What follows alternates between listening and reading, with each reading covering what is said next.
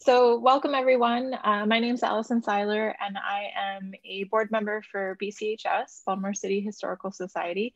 Most of you probably have seen me running some Zoom rooms uh, this Baltimore History Evening season. So I'm happy to be here again and to be hosting this evening. Um, I'll just give you a little bit of a rundown. Um, you know, we ask that you remain muted during the presentation just so that we can make sure we have our, our speaker's voice shared. Um, there will be a time at the end for questions and answers. So if there's a question that comes up and you'd like to ask it, feel free to put it in the chat um, or you can hold it until the end and you can unmute and ask uh, Dr. Tilghman your question in person. Um, so thank you again for being here tonight. And if you have any issues, if for some reason you need some help with Zoom, feel free to send me a message. I'll be monitoring the chat and I'm happy to help. Um, Again, this is uh, our Baltimore History Evening. So uh, with that, I'll turn it over to Mike French to get us um, kicked off. Thank you very much, Allison. Welcome, everyone, to the sixth and final Baltimore History of 2021. I'm Mike French, chair of the Baltimore History Evening Committee, who, along with two other Baltimore City Historical Society board members, David Armenti, who is Director of Education at the Maryland Center for History and Culture, and Savannah Wood, who is archives director for the Afro American newspapers, uh, we're the folks who've put this series together. This evening concludes the 2021 series, and so that means now we start thinking about 2022. Those of us who put this series together have our fingers on a lot of pies, but we don't know everyone who is working on Baltimore history. We invite you to let us know if you or anyone you know might be working on a Baltimore history topic that is worthy of sharing with the Baltimore history community, that is, with you folks. Uh, we've been doing this since 2009, and we still manage to find people who are doing good work that is worth sharing. And we can certainly say this about tonight's speaker, Dr. John Tilghman, who is an associate professor of history in, uh, in the Department of History and Political Science at Tuskegee University. And it gives me, oh, and I should say, uh, Dr. Tilghman is the winner of the most recent Joseph Arnold Prize for Distinguished Writing in Baltimore History. Joseph Arnold, the late UMBC uh, professor was the the dean of Baltimore historians, and the uh, Judge John Carroll Byrnes family has endowed this prize in the memory of Joe Arnold, and Dr. Tilghman is the most recent winner of that. Um, I generally give these real short introductions because you want to hear the speaker, and I do too. But I really just feel compelled to, to toot Dr. Tilghman's horn a little bit because he is Baltimore born, raised in West Baltimore in the Panway Braddish neighborhood, and is a product of our Baltimore city and state public schools. He graduated from Walbrook Senior High School. He attended Baltimore City Community College, and he graduated from Coppin State University in 2005 with a degree of history.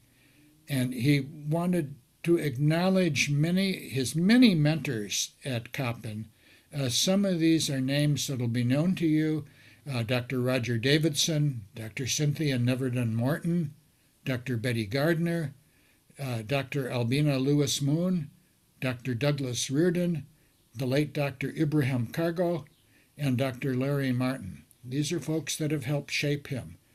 After Coppin State, he went on to get his master's and PhD from Howard University, the, the PhD in 2012. His dissertation called No Road for Renaissance Black Protest and Downtown Baltimore, 1954 1977. And a manuscript based on that is under review by Temple University Press.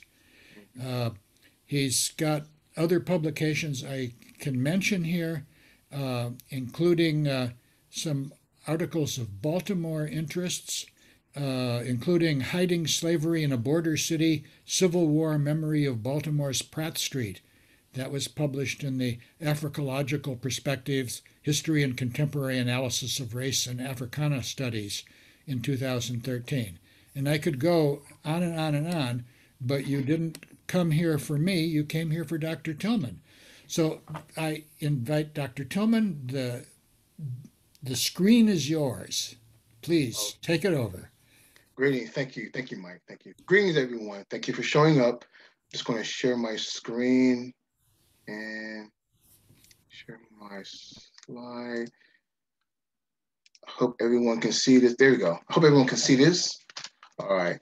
Um, the title of my presentation is called The Show of Strength Such Seldom Seen, Block Busting and the Black Voting Block in 1950s Baltimore West Side as well.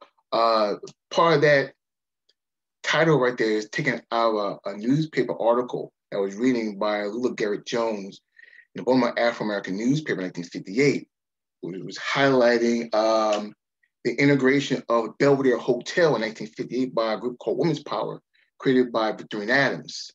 Uh, and of course, that's the picture with Victorine Adams right there uh, in her office with the young gentleman right there, the picture there at the bottom. And of course, the top picture, of course, is uh, uh, uh State Senator, at that time, State Senator Verda Welcome with Adam Clayton Powell. I put these two pictures here because it kind of illustrates uh, a hidden history to the impact of blockbusting in Baltimore that I think that no one really actually talks about. Uh, I became interested in this topic mostly because I grew up in Baltimore City. Uh, I grew up in an area that was actually chained, that was blockbuster during the late 50s uh, in, in Panway Braddock's community. And I just became interested in this particular topic. Um, so, and I wanted to actually, I had a choice of which topic I want to talk about that I want to present it toward the paper prize. And I chose this one as well. So if I can just get into it, I just want to talk about what is my main argument. I feel that this is a very important topic to talk about. Granted that we've, um, as a nation, survived the 2020 election, or the aftermath of it, let's put it that way. We survived the aftermath of that. And there's actually, you know, new laws being written in the South, particularly where I live in Alabama, throughout the South, that's really instigating voter intimidation, particularly trying to curtail uh, Black voting strength and, and other voting strength that is uh, that uh, other groups of folks view as being non legitimate yet very threatening. And it's funny when we talk about uh, this issue of gerrymandering is very deeply tied to the impact of blockbusting, particularly here in Baltimore City. This right here is a uh, kind of a picture right here, a come from the Baltimore Sun newspaper called 1958, and the title was called "The Fourth District Outcome Seen Based on Negro Vote." And what you see right here is kind of a map of the Fourth District back in 1958. Um, and if you kind of look at it, you see this little, this little um, uh, the arrow right here where it says little tag, it says, Jax is a victim of the changing neighborhoods. And what the article was really talking about was a political blogger by the name of James H. Jack Pollock. And he's being challenged by independent Black politicians who are both Democrats and Republicans uh, in order to actually get uh, represent Black representation for their district in the state legislature. And that term changing neighborhood was really a term used to describe neighborhoods that underwent blockbusting that transitioned from white to black. Now, when we look at blockbusting, again, it was a technique that was kind of used by many real estate speculators to actually, uh, for just to make a buck, to actually purchase homes from white homeowners and white neighborhoods. And they were actually able to buy these, buy these homes at a very, very low price below market value and then turn around and sell it to aspiring black homeowners and renters above the market value, which really, which really fleece many African Americans in homes. Many of them, many of these black uh, black homeowners do not gain access to regular housing loans to actually purchase homes in into white neighborhoods. So of course they were giving what you call um, land land installment contracts were very faulty. So, you know, when you look at works such as W. Edward Orser's Blockbusting in Baltimore, when we look at Antero Pietila's book, uh, Not in My Neighborhood, one thing that they chronicle is that Baltimore became, they used Baltimore as the starting point to identify how is it that neighborhoods become racially segregated and the impact of it becoming racially segregated to this very day, particularly in older industrial neighborhoods like Baltimore City. And their work is the work is is very substantial, uh, you know, and and it highlights that very well. They highlight that it was a huge mechanism of exploitation, um, using racial scare tactics, financial exploitation, um, uh, particularly by Black homeowners. But when you look at this particular this this uh, this cartoon right here, you're seeing that there's a whole different aspect towards blockbusting that people don't really talk about. What you're seeing here that blockbusting, the impact of blockbusting, is not only allowing African Americans to actually get access to homes and change the racial and class makeup of a neighborhood, but it's actually transcending into electoral politics. And it's really depending on what African Americans were actually doing in those neighborhoods that makes the difference. So my main argument pretty much, I just want to keep it plain and short and simple, that Black Baltimoreans, through blockbusting, actually utilized the population changes made in these neighborhood blocks to actually mobilize in terms of voter registration and turn out the vote to actually vote in Black politicians. And while we're issuing it within the paper itself, and I'm still restructuring the paper as well because I want it to be more, more impact. Um, it actually served as some form of a, of a civil rights approach, much more than it is just as exploitive. Also, what it highlights is that not only were they able to challenge James Jack Pollock's machine, but what you see right now is that the fourth district, the fourth city district, really became this battleground over electoral politics, not only on the city level, but also in the state level, which would include the fears of gerrymandering and everything else, based upon the impact of blockbusting that happened by the early 1950s. So that's mostly my argument, most of my argument for the day. Now, I want to show this map right here. This right here is actually a map of the Baltimore legislative map back in 1954. So if you actually look at the fourth district or the green area shaded in them, is shaded green, it says number four, that's actually the fourth uh, councilman district. For many African Americans before 1945, they were mainly living in the 14th and the 17th ward where, that you see there. Uh, many up there, African Americans were really not allowed to live in both in the 13th and part of the green part of that 15th ward, because those were pretty much the, the, the racial barrier that they couldn't pass. Because so right above 14th ward is really North Avenue. Right. So those type of areas were pretty much so you mostly had most of your black voters living in the 14th and 17th wards and majority white voters living in the 13th and parts of the 15th ward. And of course, most of it was due to uh, restrictive covenants, not being allowed to purchase homes and those other wards.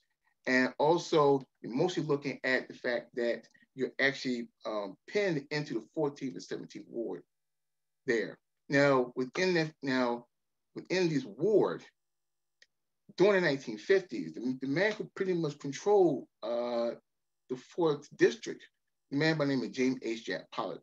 Uh, he was a Russian immigrant, Russian Jewish immigrant, came to America, been involved in uh, boxing, sports, and everything else. He basically been involved in politics, but you can't really talk about Jack Pollock automatically. Um, when you talk about Jack Pollock, you have to talk about the history of a Democratic political machine and the kind of bosses that actually created these particular strategies in Baltimore City uh, many folks, you know, when you read about Baltimore, they always call it the mob town or um, political part like the know nothing, everything else, doing violence during uh, during election day and everything else. By the 1870s, uh, things are very, very different. Uh, you really begin to see a democratic political machine be, be created, mostly by, by Isaac Rasin and of course, Arthur Poe, oh, I'm sorry, Arthur Pue Gorman. And what you have here, you have the creation which you call the political machine, where you really see Baltimore really play a role in determining elections, both in the city and in the state. And so out of this, you have what's called, uh, these are very traditional political bosses. and look at very traditional political bosses, you're mostly looking at folks where we control the city, but you remain invisible. You're not really running for high office. For example, uh, ran and was and was elected as the clerk of the Court of Appeals, right, Stickler, but he didn't go no higher than that.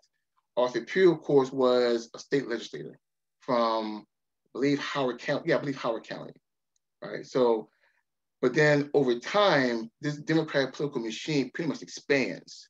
And you have the inclusion of J. Sonny Mahon, of course, uh, Frank Kelly, uh, Robert Patchett, Willie Curran, of course, and then you have James H. Jack Pollock coming in the 1930s. Now, um, it's always been documented that some of the tricks that have been used is that they actually form strategies kind of either dilute or curtail Black voting strength, particularly in that 14th century ward. And you know, most of the things that were talked about were um, that Rasin will actually, that Isaac Rasin will actually have uh, a Black political boss by the name of Tom Smith, who was in charge of the 14th 17th ward in the 4th district. And he said that, well, he would actually pay Smith to actually go out and bring Black voters out on picnics and barbecue on election day and have them have barbecues and kind of distract them from going to the polls. That's been a very popular thing to say. And it really very careful with that because when you look at it, uh, it, it tends to hint that Black voters were not intelligent voters or may not be educated on civic duty. And it's kind of hard to believe because from the 1890s up to 1930s, you had six Republicans, men, Black men, voted who were elected into the city council all right? And that was mostly curtailed. I think we have to do is understand that there were many, many strategies that were actually really used, actually really used to really curtail and challenge allow black black votes. Number one is to understand this: if you're going to have barbecues and picnics by them out, right, you would have to actually entice them to actually vote Democrat. You have to think that way. Another thing is, of course, you know, um, thing that Jack Pollock had been accused of doing was, you know, rumors of bribery, racist literature, everything else, uh, rigging elections, but those things were already were always being done. When you're a political boss, particularly in the 14th and 17th wards, those political boss pretty much have control over those election polls, and they can determine which vote can be counted, which votes cannot be counted. You know, those are type of things there, right? But you know, but it's very difficult to actually prove that because those things are not really documented. What you can say, if you look at it, is two things. One, redistricting and gerrymandering. Because understand something, when Baltimore, when the Maryland State Senate passed the Home Rule Amendment in 1923, Baltimore is given actually given a chance to actually redistrict its own lines in the city. And out of that, you begin to have the fourth district. So you have the 14th and the 17th ward actually merge into other white neighborhoods in the 13th ward, such as Woodton and Hampton area, and, and I'm sorry, Hampton and Woodbury, and parts of the 15th uh, ward as well. So what you have here is that once, so what you have here is this, um, you took the 14th and 17th ward and you actually merge it with an overwhelming amount of uh, white neighborhoods and white wards, and voila, that's what you had at the fourth at the fourth ward. So you know, and what you have here is this: you actually have a city where or a ward where the white population is more than than the black population. So even if the black people come out to vote, it's still not really enough to actually the, the voting turnout will not be enough, will not be enough to actually vote for the politician that, that they actually want. Now, as they actually gerrymander and redistrict most of the the the, uh, the uh, DC districts, income political bosses, and most of these political bosses were able to come in and actually and actually um, create certain tactics to really not allow uh, black politicians ever to get elected. Your last black city councilman was Warner T. McGuinn in 1933. So before then, you never had a black person in the Baltimore City Council until 1955. You will not have, not ever have a black state legislator in the Maryland state government. So it pretty much never happened. So these were always tricks and tactics used to kind of disrupt Black voting turnout in the 4th and 17th Ward. So a lot of these things have happened. Now, here's the thing within these wards, and what you have here were African Americans who were involved in politics, who were actually involved in trying to challenge the political bosses. Some actually tried to work with them, of course. The first one, of course, was Thomas Smith, who was working with the Isaac Rasin campaign. I mean, the Isaac Rasin Gorman machine up to 1920s. Uh, he pretty much no longer becomes the political boss in the Black Fourth District. And then you had Laura Randall, of course, Little Willie Adams. This is picture right here with wife Victorine Adams.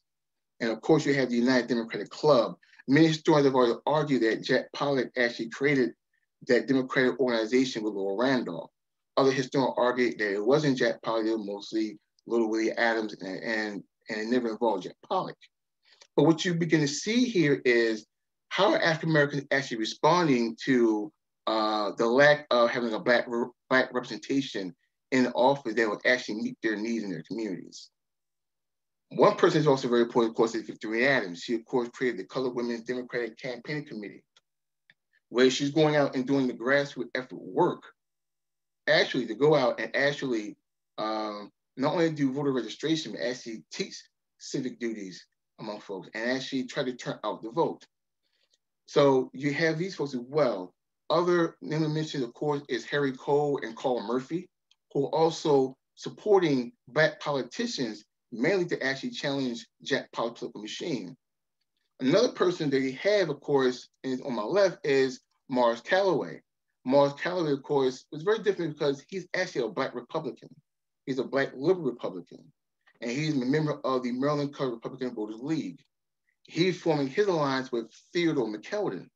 So now for him, he actually attempts to actually uh, run and what Morris Calloway does that he actually attempts to run all black candidates on a Republican ticket for the city council. Both in the 1940s, and they all lose. Most of it came from factionalism because you had splits between folks who wanted to vote Democrat and folks who wanted to vote Republican. You also had issues with political bosses who were literally interfering in creating interference and actually getting them elected. But their stance pretty much between Marse Callaway, Lindbergh Koger, many of them had a very civil rights platform and a very reformist platform. So, you know, these things right here that you have the grounding for uh, the creation of independent Black political politics is going on in within this district, but it's very difficult to turn out, right? It really is. Well, in comes blockbusting. This right here is a census map that I have right here. If you go the top part, the northern section of the fourth district, uh, this is actually the 13th ward and part of the 15th ward. And I know people may not be able to see it clearly, but you may see this area right here. This is called Druid Lake, which is really Druid Hill Park. And these are actually neighborhoods such as Mondawmin, uh, Panway Braddish, uh, and everything else by 1945, you begin to see blockbusting begin to happen. And what, what you really see is that it happens in, they are happening in certain places in South Baltimore and certain parts in East Baltimore, but it's mainly happening in the west section of Baltimore City. You have African Americans primarily, and we always talk about the actors are always real estate speculators, no question about that. But there's other actors involved in this, mostly professional and middle class African Americans, Black folks who are moving past North Avenue, moving past Fulton Avenue in Sandtown, Winchester. They're moving into neighborhoods such as Easterwood Park. They're moving in neighborhoods such as Mondawmin, Panway, Coppin Heights. And later, after 1955, it'll be Ashburton and Edmondson Village. So when you look at the racial turnover in this census report by 1950, um, the African American residents actually outnumber white residents in Easterwood Park by at least three to 5,000 residents. That's how quick it turned over. This is beginning in 1945. This is by 1950. This is according to the census records. If you look at Reservoir Hill, Panway, Mondawmin, at least it increases by 13,000 Black residents. Now, during this time period, Baltimore City is going through humongous change. It's an old industrial city. Its economy is shifting from manufacturing to tourism. You have downtown development going on, which will later become Charleston and a harbor. You also had the, the displacement of Black residents that are living surrounding around the downtown area. You also have the civil rights movement going on there, particularly um, the slowly but surely your um, uh, segregation is slowly but surely being dismantled in certain areas, such as downtown restaurant and department stores, slowly, in education. You have it in housing, you have it in employment, you have city employment being opened up. So it's actually going through a different changes. So you have middle class African Americans who are actually moving to these neighborhoods. But what you also got to look at is this West Baltimore actually becomes the designated area for African Americans. Uh, now, there's no law that's going to be passed against blockbusting. Well, mainly because the Supreme Court ruled that restrictive covenants are, are illegal if the federal government is enforcing them. So you can't do that. So what you have here is that you have African Americans who are actually literally, it's free for them to move to these neighborhoods. In 1948, um, you look at Thomas D'Alessandro Jr., he come across a letter, I came across a letter of correspondence between um, Carl Murphy Jr. and Thomas D'Alessandro about building a vocational high school in Eastwood Park. And that was called Carver Vocational High School in 1950. Um, of course, it was protested by white residents who were living there, but it didn't matter because black folks were already moving to those neighborhoods. Um, Frederick Douglass High School. I don't know if it's called Frederick High School now because the names have changed, right? That's actually used to be in the Sandtown Winchester community. Well, that moves. In 1953, it moves to where now across street from Mondawmin. Uh, this, where it says Metro Plaza, that's actually Mondawmin Mall. It's the original building, the original building. So that's in 1955. So what you have to argue here is that not only are African Americans moving out these areas, it's really designated for them. Now they're not going to pass a black busting a black busting bill until 1958 or 1960. No, 1960. My apologies. That's when it happens. So when you have this, um, there's no question that when when middle class African Americans are moving out these neighborhoods, they're mobilizing many people to come out there and to vote, and they're showing their voting strength. Now, Samuel Friedel was actually uh, elected to the U.S. Congress. All right, and when he's elected to the U.S. Congress, uh, a man by the name of Raymond, I'm sorry, a man name of Leon Raymond, is requesting Thomas D'Alessandro to appoint a black woman by the name of Vivian Vivian Allende to the Baltimore City Council. Well, D'Alessandro kind of refuses. So Victoria Adams and Willie Adams and the Colored Women's Democratic Campaign Committee getting involved the NAACP is getting involved, the, the Ministerial Alliance is getting involved. They and Leonard Raymond actually formed a Plain People's Protective Association. What he says is that he actually formed a group and they're petitioning for a black person in the particular um, to sit at that seat and represent the fifth councilman district. Well, it opened a lot of eyes to many state legislators of uh, the changing neighborhoods that are going on in the fourth district. So State Senator Francis Dipple is actually forming a, um, he's actually requesting for a, a redistricting of the fourth district. And the argument that he says there is, he said, look, the population are actually changing in here. And you mostly have to really redistrict so everyone can have an equal amount of representation in the state legislature. Now, for mostly for for this, right? And he's working with the with, with the Citizens Committee for Redistricting. And right here's a picture from the Baltimore Afro-American newspaper. And it shows you the different plans. Um, these plans were actually presented. What you had here in 1953 was actually this actually this real scuffle of uh, elect of um, redrawing the boundaries of the fourth district, and also including the third and the third and the fifth district as well uh, when the Baltimore Afro-American finds out and many black political figures in the fourth district finds out, uh, they view it as gerrymandering. And they view it as, what many people gerrymandering, that you're trying to manipulate the boundaries to make sure that not only Democrats win, but white Democrats maintain seat in office. So Harry Cole and Vincent Tubbs, this is actually Vincent Tubbs' article right here. And they actually formed what's called the Ballot League of the Fourth District. And they're charging that Francis Dippel's uh, redistricting plan is really gerrymandering.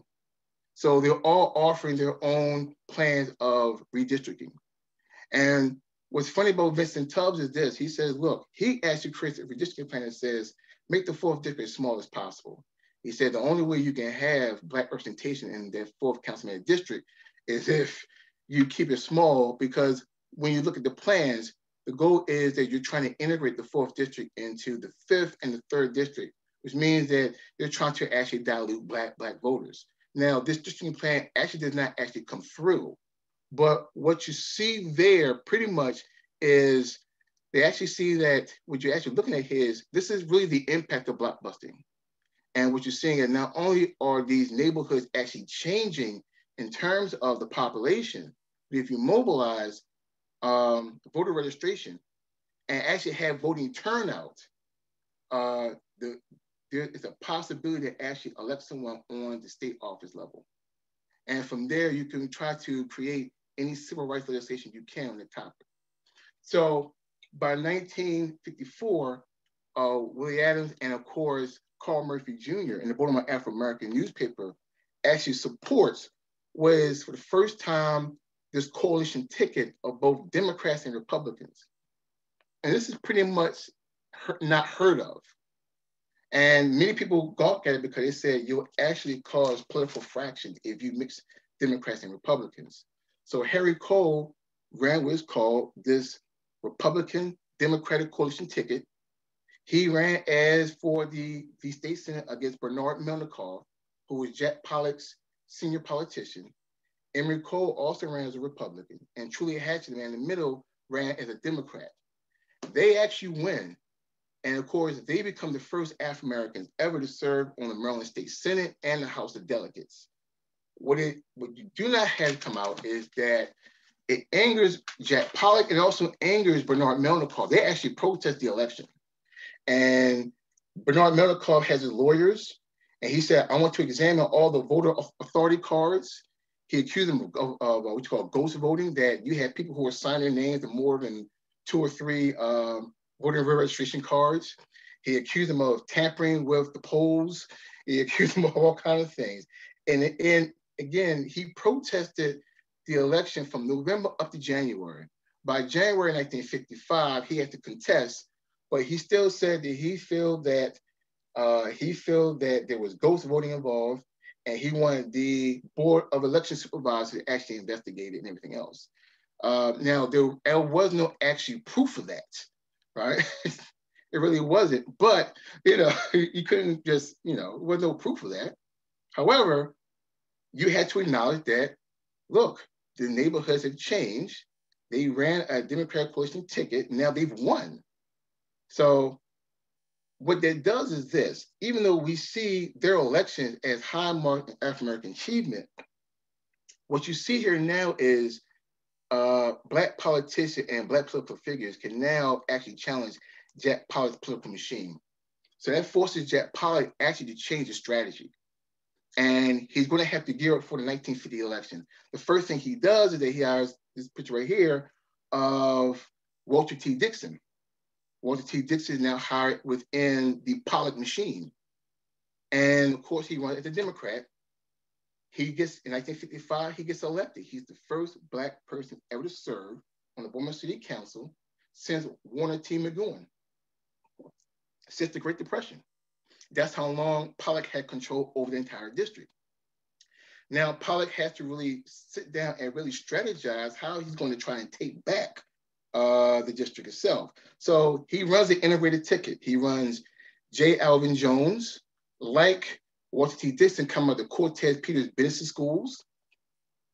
J. Alvin Jones is Black. He also runs as a Democrat, Mary Abrams, Mary Abram, I'm sorry, Abramson, mm, excuse me, Mary Abramson and Sol Freeman, both Democrats. And it was called the integrated ticket. you know, and you know, you know, it, you can see it as token integration, but you can also look at this is the ticket of integration. This is the ticket of uh, inclusion. And it's very important to do this because during this time period, the civil rights movement is just taking off. So it looks kind of, you know, it looks politically convenient for you to do that, right? So that was there on one end.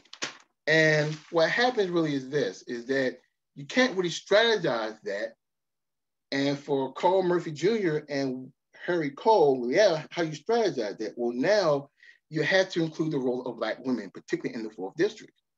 And in my interview with Earlie McKinnon is pretty much how was it they wanted to actually determine the vote. And out of that meeting, according to Earlie McKinnon, who was a member of Women Power, you had an organization called Women Power Incorporated. And this is a picture of them uh, integrating the Belvedere Hotel in 1958. This was very important because you had um, you had at that time a city council in the fifth district, William Down Schaefer, attending this very meeting. These were mostly black women who were registered voters. And what it was is this, is that with, with the former Afro-American newspaper and being the mouthpiece of the fourth district Democrat, I mean, political coalition ticket, it was documenting how many people women power were registering, how many people they were registering, everything else. I mean, and they were registering thousands and thousands of black men and women in the fourth district. And not only in the fourth district, but throughout the entire city.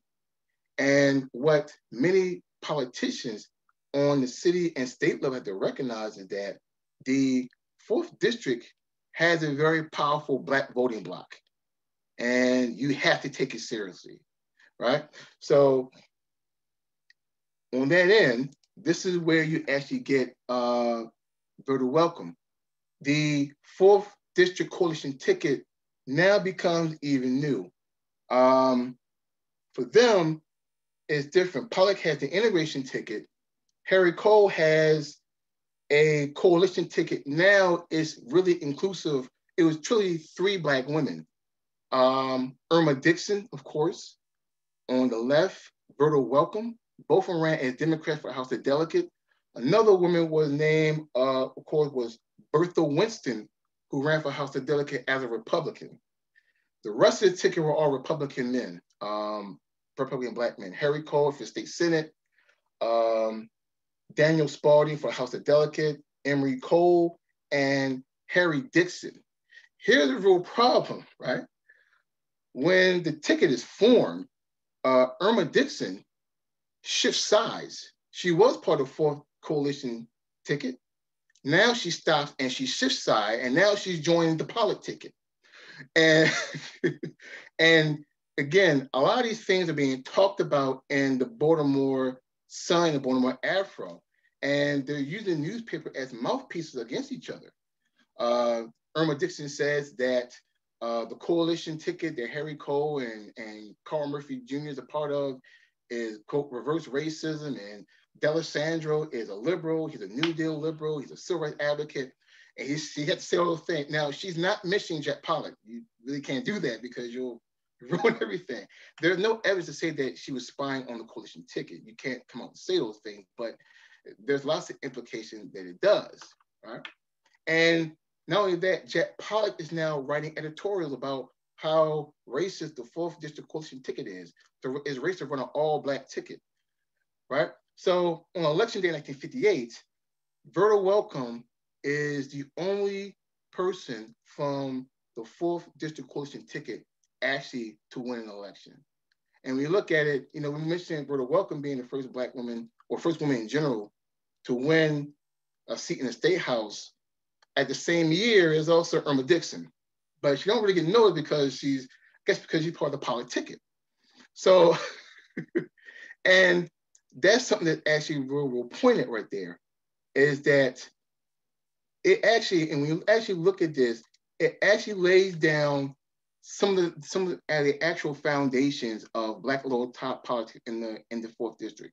Now, in conclusion, there are a lot of limitations towards that black political ticket. First of all, there was limitation in electoral politics. It was very few uh, politicians in the Baltimore City Council or in the Maryland State Senate that actually passed civil rights laws and legislations. even though Harry Cole passed them, and of course, Walter T. Dixon passed them as well in terms of housing, uh, employment, it didn't go through. They didn't have enough people and they couldn't muster the, the, the political muscle to actually pass that legislation through. You won't see those policies, those, policies come through until 1962 and 63, mostly due to protests uh, throughout the entire, entire state. But, and also, there's also class issues as well. If you look at this political ticket ran by Harry Cole, they're all Black intellectuals, Black professionals, lawyers, teachers, doctors. It doesn't really, it didn't really have a labor perspective. It didn't have a working class or Black working class or Black poor agenda. Because during that time period, many African Americans were being displaced from their home during urban renewal, right? But the one thing you can also say is this, is that you when you look at blockbusting, no one questions that uh, it was ex- it was very exploitive. No one questions that it set the standard in terms of creating racially segregated city that you have today.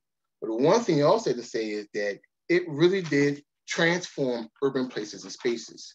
It did give African Americans, in many cases, um, new institutions. Yes, they had access to housing. Even the housing were older, much more newer, and had more lighting than the ones in the inner cities. And also, it actually got people, it actually allowed them actually to allow, to elect Black politicians. What you also get is this fear among the white political establishments of how powerful Black voting turnout is. And you see some of the strategies that comes about when trying to stifle uh, those, those, those votes.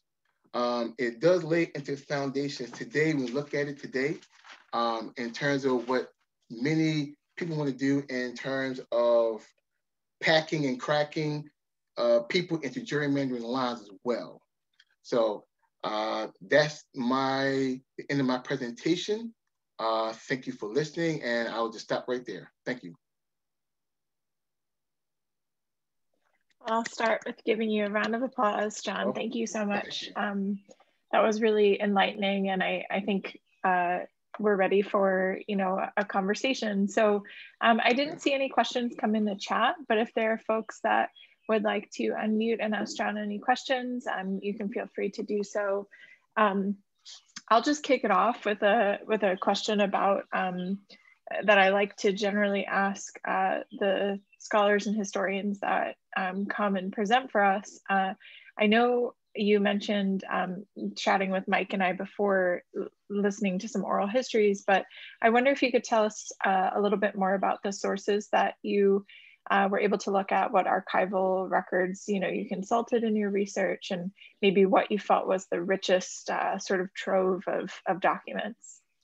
Yeah, the arc. Well, first I did oral history interview when I was writing my dissertation at Howard University, and it was years ago, back in 2008, 2009 um, I was actually learning about Pennsylvania Avenue because, uh, you know, my grandfather was Charles P. Tilghman. He was on the space school Pennsylvania Avenue. And I wanted to get just a history of that from many of my elders who were still around as well. And but as I did the research, I started unraveling these connections between people moving out of Upton, Sandtown, Winchester, and moving into, or the population changed between these neighborhoods moving into other neighborhoods across into Easterwood Park and Mondawmin. So I tried to track down these people the best way I could. My older brother, uh, Charles Tilghman Jr., helped me out a lot in locating them as well. I was actually able to interview, uh, I'm not sure if she's still living today, she may have made a transition, Miss Earl McKinnon, who I interviewed her, who actually lived down the street from me. I didn't know that she did. Um, and she was one of the people who actually formed Women Power with uh, Victoria Adams and Ethel Rich. So, and she began to give me just insight of what Women Power was doing, the impact that they had, tell me what would it like to actually uh, integrate the Belvedere Hotel. Um, you know, and so her her interview, because that was actually very missing. So I used her interview as much to actually get a, a good rich source. There was other people I interviewed well in terms of Carlton Douglas years ago. Uh, yeah, Carlton Douglas, the Undertaker as well, uh, who's I think his father was Calvin T. Douglas. Um, and Calvin T. Douglas sold my grandfather the house I grew up in. That's what he told me. Um, and who I think was also a politician as well. Other people who I've interviewed was the late Clarence Mitchell III, uh, Michael Mitchell, his brother. Those, of course, were the sons of Clarence Mitchell Jr. and Juanita Jackson Mitchell. Uh, also, in terms of archival work, digging into the archives, I've also looked at the oral histories at, I want to say Maryland Historical Society, but y'all changed your name. Is it the Maryland? Okay, Maryland the Center Society? for History and Culture. Okay, yeah, I get it. Yeah, I, I, I had to change my um my footnoting in my uh in my manuscript when I saw that. But y'all had the Theodore McKeldin, Lillie Carroll Jackson Civil Rights Documentation Project, which I really utilized as well. Um, the issue of class that really got me was the one that Juanita Jackson Mitchell did, which really highlighted that as well, just certain nuances. Um, so that work, of course, there was an oral history done by Willie Adams there as well. And also just other books I was reading. Um, I, I was reading um, Hayward Farrar's book, The Afro-American Newspaper. Uh, but uh, what else I was reading? And there's other books as well I was reading. Of course, um, Mr. Pietila's book, who's in today. How you doing, sir? I was reading his book as well. Um, just secondary sources that helped me kind of put things kind of together and also find what was actually available. Right? So those were the, those yeah. were the I used. Thank you so much. That's really uh, helpful. And I know for a lot of us, you know, who are trying to get started in research or want to go down certain research paths, it's helpful to kind of figure out how to make those connections. So thank you for that. Um, does anybody have any questions they'd like to unmute and ask? Yeah, I have one. Sure, go for it. Thank uh, you. my name is John Murphy. Um, you know, I'm a white person, and uh, from our perspective, we always learned that blockbusting is a terrible thing. Uh, that uh, it forced the uh, white people basically out of the city uh, through threats of uh, uh, decline of property values and so forth. And they really amounted to the reason for the white flight that uh, the history books say is sort of the big change in Baltimore City. It seems to me that you're proposing a somewhat different perspective and one that I had never thought of before, and that is, is that from a reverse standpoint, from the standpoint of African Americans, uh, blockbusting uh, opened up areas that uh, had not existed before for them to live in, not just, I guess, in living quarters, but also in political power. And is that correct? Yeah, I would say, I understand your question, and I would say, I would say yes.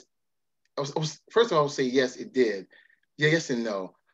How, how I always view blockbusting is that it's, is is very complex. There's a lot of contradictions to it. Um, because on one end, you look at blockbusting, um, you're you're really exploiting uh, white Americans on their racial fears of having black having black neighbors, and then they move out towards the suburbs. And you also exploit black aspiring homeowners and renters uh, by moving them into homes. Some homes are decent, some homes be subpar, and then next thing you know, you know, uh, they're living in substandard housing. Uh, that's one area.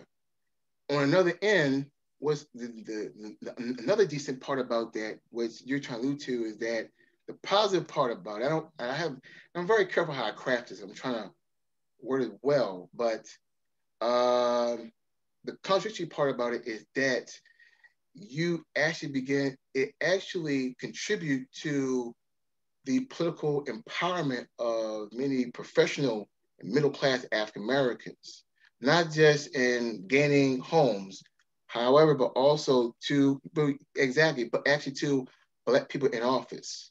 So, you know, I, I don't want to come out and say it's a great thing. I, I don't want to do that. Uh, you know, but I, I do say this is that you can't you can't look at blockbusting as right or wrong.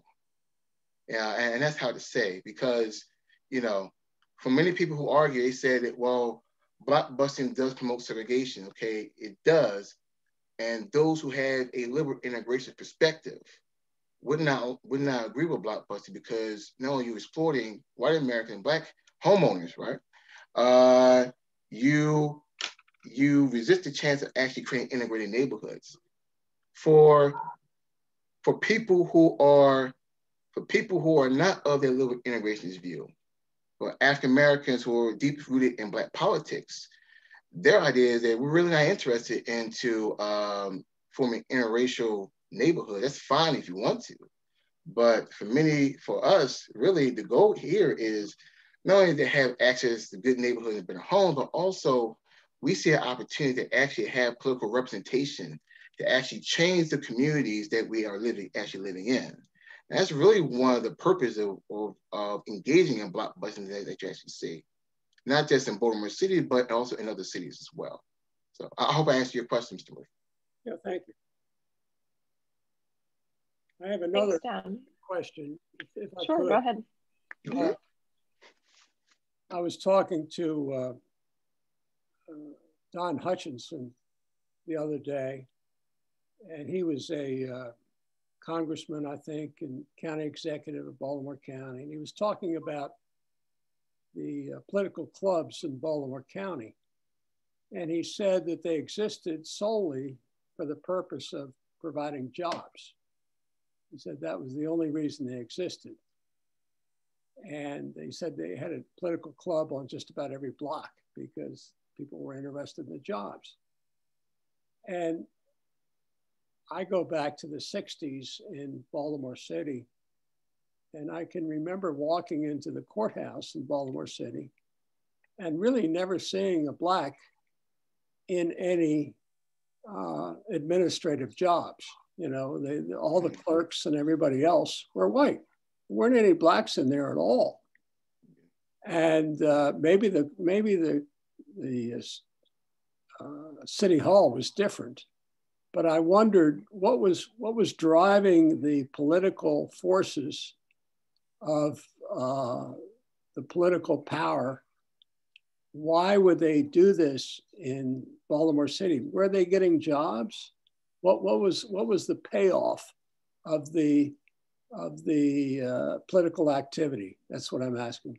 Yeah, when you look at political bosses, particularly if you go back to Isaac Freeman uh, for them, when you get involved, when you control city and city and state politics, uh, when you put in your own politicians, they were really involved in getting in governors and state legislators. Uh, mostly you have what's called patronage jobs. They actually tribute jobs out to those who actually help and get votes out for them. So what you look at is what you're actually looking at is, is these are actually people who are political kingmakers. I mean, they can act, the goal is actually putting people in office. And also they actually distribute out patronage jobs. Now, um, mostly these patronage jobs, they can actually enrich themselves, enrich their families, enrich their friends pretty much. And then you have other folks who are actually part of their political machines. And, but by the 1940s and 50s, what you really have here technically after Isaac after Isaac Rasin is dead, you really don't have those citywide political bosses in Baltimore anymore. Jay Mahon, Frank Kelly, even Jack they never really controlled city politics, the entire city politics like that. You had other little bosses. Um, you had Irv Cove in the fifth district. I believe they have what George Della in oh goodness gracious, I I forgot the district is South Baltimore. William Willie Curran. Yeah, most of these folks, most of it was actually being a kingmaker and getting people elected. Um, I'm not going to go into um, I'm not going to go into um, uh, um, underground economies or illegal jobs or anything like that because I have no idea about that and there's no documentation of it. And if not documented, I can't go there. But that's what I can really say. What I can say for Baltimore also is this: is that uh, those type of job, you know, those political bosses tend to end. When Jack Pollard dies in 77, uh, that type of, well, you know, for Jack Pollock, a number of things happened. Uh, for him, people tend to turn on him in the 1950s and 60s, mostly because he was always in the newspaper. So people knew who he was. Usually they don't, usually they don't know who political bosses are, right? But when you're in the newspaper, they know who you are. Then when he dies, you know, uh, those political bosses tend to kind of split a bit. White flight and the fact that Baltimore becomes a majority Black city is really what put it into that type of political bossery in Baltimore City. Also, the city kind of changes because now the people who are influential in politics and policy are now public-private partnerships, corporations, business, you know, and you kind of see that with the William Donald Schaefer administration and, and everything else, you know, you know, certain business people who were very, very powerful in his administration in terms of downtown development and everything else. So those those policy, those political bosses really don't exist. But um, but most of it, mostly is to distribute jobs, enrich themselves, everything else, and have political clout and be that political kingmaker. So I hope I answered your question. I don't mean to be long with it. Thanks, John. Um, I also just wanted to point out a couple of things that came up in the chat. Um, thanks to Linda Shopes for recommending uh, Ed Orser's Blockbusting in Baltimore book, which I'm sure John, you know, used, um, but might be helpful for others mm -hmm. to understand, um, you know, uh, Ed Orser makes the point that uh, though blockbusting was deeply exploitative, it was an avenue to home ownership for African Americans when other opportunities were not were simply unavailable. Um, and then I just also wanted to give you this uh, kudos comment from Michael, who had to leave a little early. He said the presentation was great. I want to contribute to the conversation, but have a huge deadline to work on tomorrow and have to leave. Um, I can always put him in contact with you, John, if uh, you guys want to chat. He said he's been working along Greenmount Avenue, renovating homes and carrying out other neighborhood improvements. He said, um, with the resident board of directors, the presentation's been enlightening. Thank you, Dr. Tilghman. Okay. Um, so just just a heads up for that. I know there is a lot of um, there's a lot going on around the city de development and, and all sorts of things. Um, so it's it, I'm sure that some of it is hitting in these areas too. Um, Mike, you had a question for Dr. Yeah, well, part of one is a, a, comment just feeding off of this. I remember when the uh, the BCHS had our uh, when we had annual spring conferences. Uh, we were in the Reginald Lewis Museum, and uh, Antero was one of the present presenters. His book hadn't been published yet.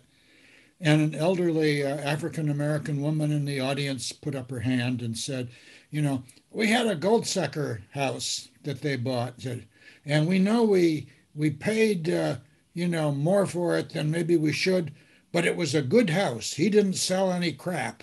And we were proud of that. Do you remember that right, Antero? That, uh, anecdote? I also saw some nodding from Linda, so she yeah. must have known too. yeah, yeah, you know, um, you know, in Torn Baltimore City, they I grew up in Panway, Braddish. You know, the house I grew up in is very spacious. There's a lot of window, there's lighting. I had a lawn, I had a backyard, everything else. But when you travel back into housing to the fourth district, where it's like tenement houses, you see that it's not that much lighting, it's very compact and everything else. So you can understand why African Americans wanted or did everything they could to get a house out there. Yeah. Um, uh, yeah. My, my other question I was thinking when you're uh, maybe bouncing off Allison's question on sources and oral history, I wondered, did you ever, did you talk to your parents or grandparents about their experience in Baltimore? Yeah, I talked to my father and my uncle uh, my father is Charles Tilghman Sr. My uncle is Wilbert Randolph Tilghman. Uh, I interviewed them both together, actually. My oral history set is actually back at my father's house at, at Windsor Avenue, unfortunately. But you know, I interviewed both of them together, and they talked about their childhood growing in East Baltimore, um, uh, going along Pennsylvania Avenue, and actually moving out into purchasing homes into the neighborhoods. My father because we grew up in the Panway uh, Braddish community. My uncle, um, of course, used to live out into Edmondson Avenue at uh, Edmondson Village. So you know, yeah, I mean, you know, and and and they, you know, and they talked about that and how they actually enjoyed it because what they were telling me was that for many African Americans in the 1950s, um, neighborhood like Ashburn, they were called, you know, the New World. That's what they call it, right? And the New World was like, uh, the New World was like um, Ashburton, Panway, uh, Mondawmin, Walbrook Junction, you know, because that was new to them. They were used to the tenements. And as they, you know, both in that generation, when they moved out there, Ashburton, it was. I mean, you know, it was to them. Uh, my grandfather moved out to what's it called, Strathmore and Northwest Baltimore, Strathmore Avenue.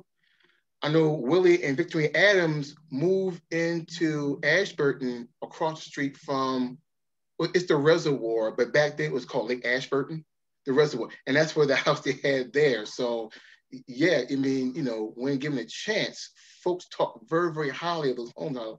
People actually want to move out into those particular homes, you know.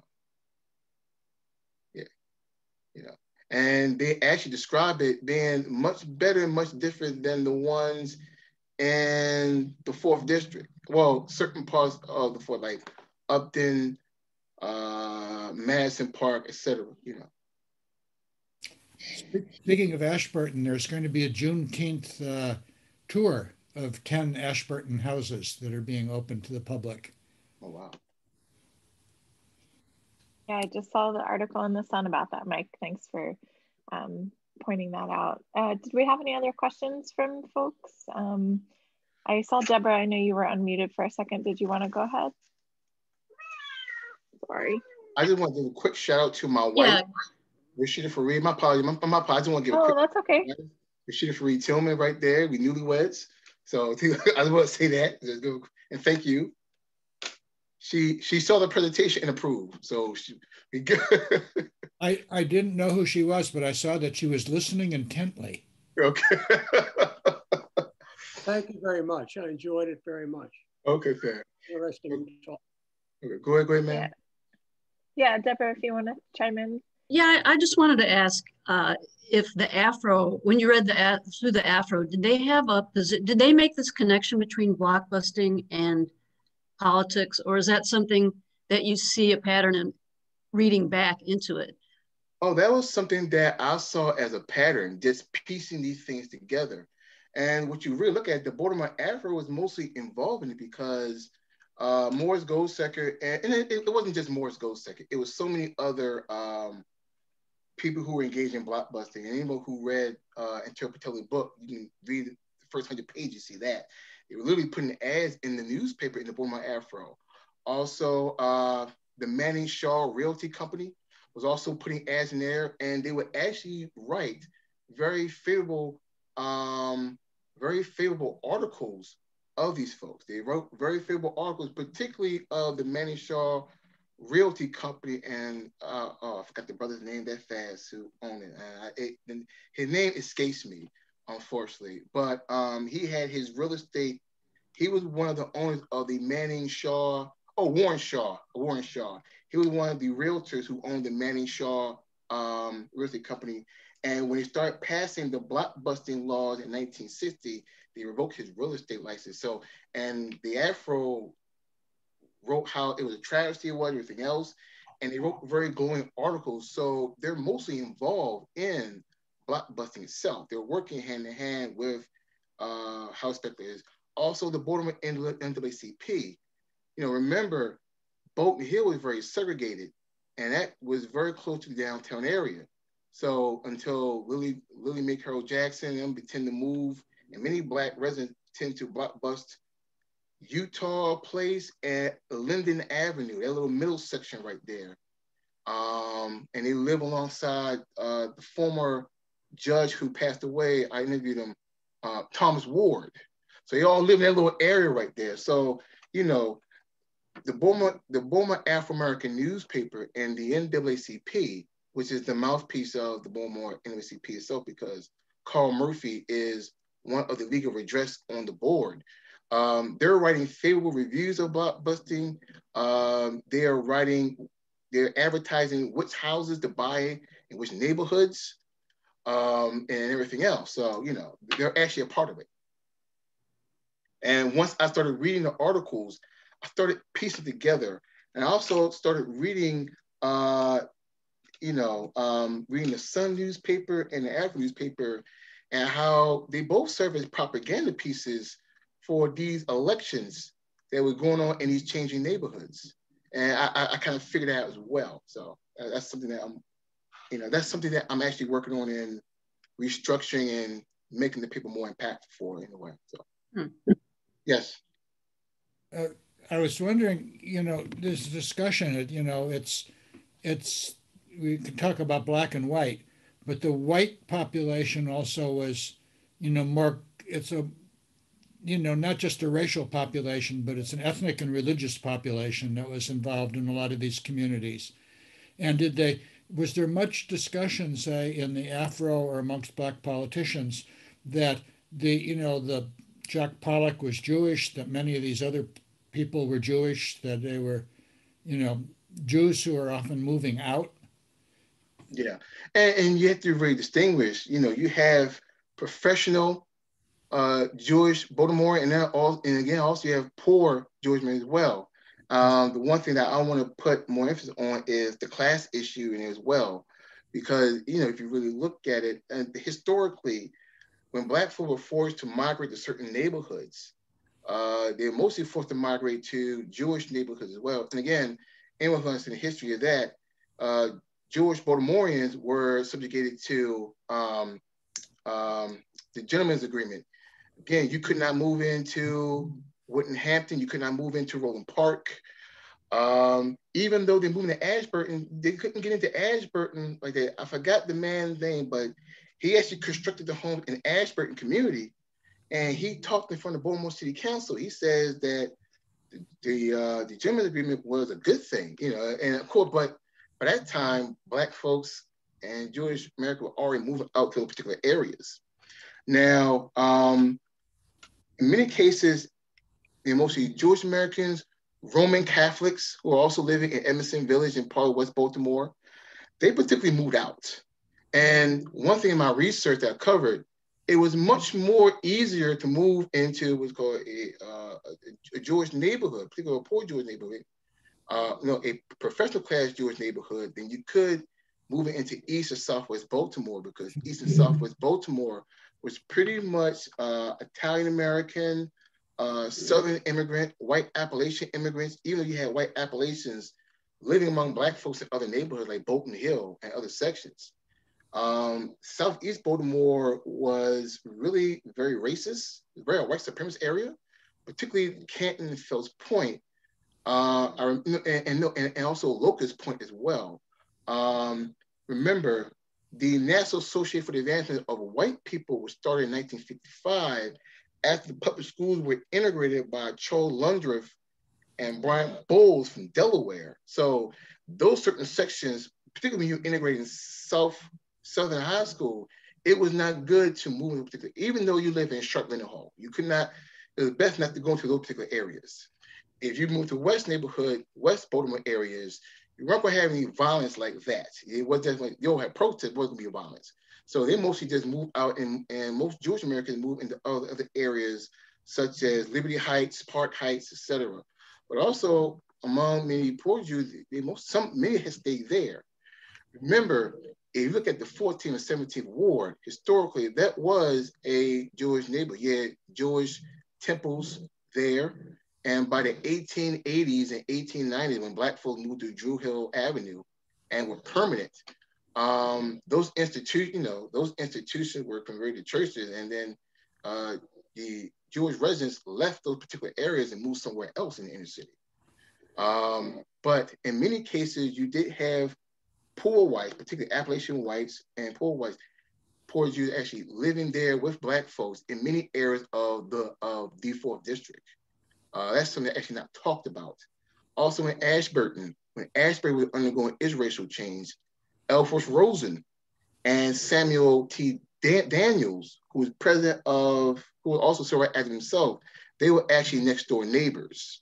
So Ellsworth Rosen knew that block busting was a major problem. And of course, he wrote that article in the Saturday Evening Post trying to promote integration and everything else uh, to, to offset um, white flight. And of course, you had the Baltimore Neighborhoods Incorporation created in 1958. And it's funny, folks said that they, Baltimore never had a, a discussion about race, but they actually did in 1958 with these changing neighborhood situations. And what they realized was that, you know, okay, there's certain areas that were racially integrated, where you did have black folks and um, they had it there. So, and they went door to door, tried to convince um, white residents to stay in their homes, but it, really didn't work out.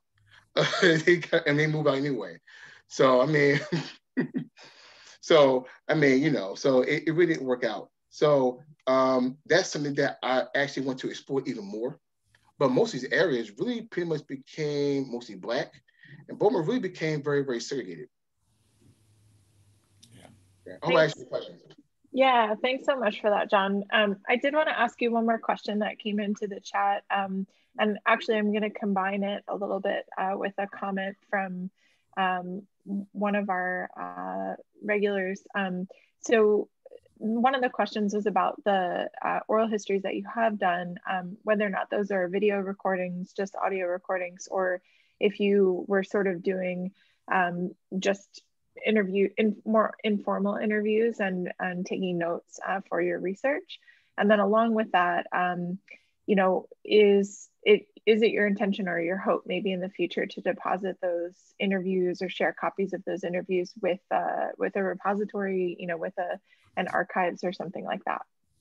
Yeah I, I will make choice of doing so. Most of them are actually tape recorded. Um, and you know again those were done when i was in grad school and you know, when you're a grad student, you don't really have the funds to have the video camera and all those things. You know, so I had a I had a digital tape recorder and a microphone, and I had to do the best that, that I could with that one. But um, those were very um, they're still back in Baltimore City, and they should still be good. And I do I do have plans of donating them to an archive later on in the future. Um, I just want the COVID 19 to kind of pass, hopefully, I, I don't think it will pass anytime soon, but you know, hopefully it will pass. And then once I retrieve them, I'll find a, a suitable archive to donate them to as well. So yeah, and I would I would say too, like any of us, you know, from the City Historical Society can help with that. I know um, you know, Ida might be interested. Um, I don't want to speak for her, but that could be a great repository um, to consider. So um, does anybody have any other uh, final questions for John? Did I see Heather having her hand up? I was actually going to pass the mic to Heather um, if nobody else has any questions just for a minute. Um, but I'll just ask one more time. Any other questions? Um, I have a comment, not a question. Can you hear sure. me? Sure. Yes, okay. we can. Uh, John, this is uh, Bettye Gardner. Oh. John, John is a former student of uh, of mine and my other colleagues at, at Coppin State, and I just wanted to say that um, I, um, Dr. Jones, Ida Jones, um, sent me the information, thank goodness, for this evening. And I was able just to, you know, get on. I heard your presentation, and uh, I'm, you know, it's just amazing. It's wonderful. Okay, so um, uh, just to hear you uh, tell this story uh, is interesting. And I will just add that many, many, many moons ago, um, when Joe Arnold, for whom this award is uh, is named, um, Bettye Collier Thomas, uh, friend and, and, colleague who was at UMBC uh, for a little while, uh, but we did dissertation work on Baltimore, uh, 19th century, and uh, we were very active in the um, Baltimore History Group. Uh, the only other name that I recognized was Michael French, so I see he's still around. But anyhow, I just wanted to uh, say hi to you, John, and uh, and keep up the good work. Oh, thank you, thank you, thank you, Dr. Gardner. Hello. Betty, Betty, I don't know if you were here earlier on, but you were mentioned in a list of shout out people that, that John gave me as important mentors to him. Well, no, I was not. I, I mean, my goodness. Thank you for telling me that. You'll have to watch the videotape. Yeah. Oh, it's always good to get a shout out, you know. oh, thanks. and thanks, John. Oh, you're welcome. Thank you. Thank you. Thank you guys for your questions and everything. Um, I just want to take a moment to uh, acknowledge the BCHS uh, board president. So Heather, I'll turn it over to you um, to just say a couple of thank yous and, and whatever else you'd like to add. I think you might be frozen. Yes. Um, well, first, yes, thank you to Dr. Tilghman for joining us and for uh, um, I wanted to thank you, Dr. Tilghman, for joining us and uh, for sharing your expertise uh, this evening. And we're really grateful for that um, and for having this great way to uh, close out the 2021 uh, lecture series. And I wanted to uh, make mention of uh, two, our two sponsors for the lecture series. Um, we have Arcadia Publishing, um, which is the nation's leading publisher of books of local history and local interest. Um, so this is a great um, partnership to um, for them to have with us, and they also were the publisher of um, Philip Merrill's uh, book on Old West Baltimore, and he was also um, he was a speaker earlier on in the 2021 series.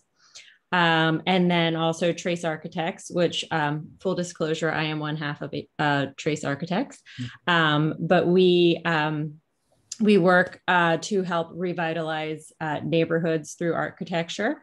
And um, Michael, who left the comment earlier, is someone that we work with with a People's Homesteading Group. Um, so we're really happy to be able to um, support the BCHS um, with our sponsorship. So if anyone um, knows of a business that would like to sponsor us in the future, um, we would love that. And then also, as Michael said earlier in the in the uh, the evening if you have any ideas and thoughts for um, topics for future uh, history evening talks. We would love to hear them.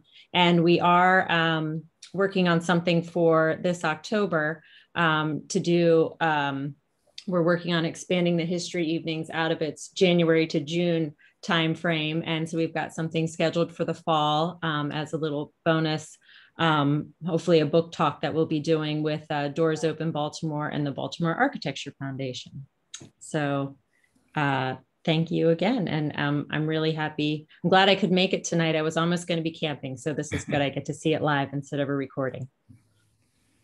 And we should also mention that Baltimore City Historical Society is, is available to you 24 7 in our Facebook page which often has you know lively discussions of Baltimore history, and uh, uh, sometimes you know always lively, uh, usually informed, sometimes not, and uh, we could use more participation from people who really know Baltimore history. So invite you to to check us out if you're on Facebook. So I guess with that, Mike, um, we can just give a virtual round of applause to Dr. Tilghman. Thank you again so much for people uh, your unmute so he can. Yeah, you can unmute and. thank, you, thank you so very much. You, you've been a, just a very fine. Thank you so uh, much. Closing hitter for our uh, our, our 2021 series. and, uh, you can find his paper on the Baltimore City uh, web uh, historical society's uh, web page, you can actually do this old-fashioned thing called reading. It's really a great way to, uh, to learn things. And so, uh, and just my, my uh, the final thing I always say is, you know, that there's sort of two parts to this uh, this this kind of thing. It's the the people who put it together and the people like Don Dr. Tilghman who speak, but it's also you, the audience when we started this in 2009, we visualized this as kind of a two way thing. Uh, that public history is not just, you know, historians talking to people, but people being there. There would be no Baltimore history evenings without scholars, but there also would be no Baltimore history evenings without people turning out and to participate in that dialogue of Baltimore history. So, thank those of you who are here for the first time or your faithful attendance uh, for making all this possible. Thank you very much. You make it happen. Thank you. Thanks, everyone. I hope you have a great evening. Thank you so much.